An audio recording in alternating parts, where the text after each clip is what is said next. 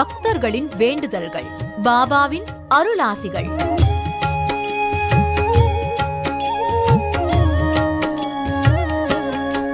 கோவை ஸ்ரீ நாகசாயி மந்திர் ஆலய தரிசனம்.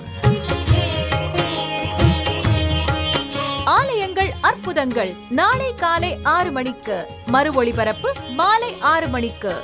நமது புதியுகத்தில்.